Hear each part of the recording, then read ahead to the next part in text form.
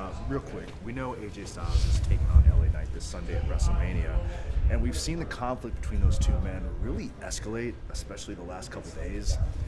Even though you and AJ haven't been on the same page recently, how do you feel about what AJ is walking into this Sunday?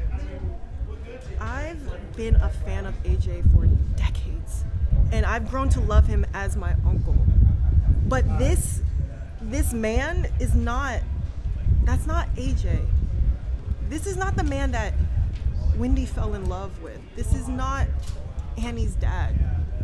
I don't know who he is. And after what we saw yesterday, it wasn't it wasn't just a brawl. It wasn't just a fight.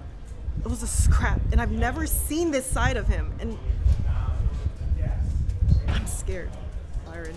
I'm scared for AJ and his match with LA because he's going to reach a point of no return and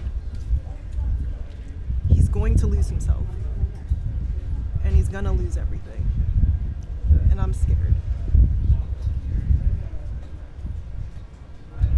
That's not AJ.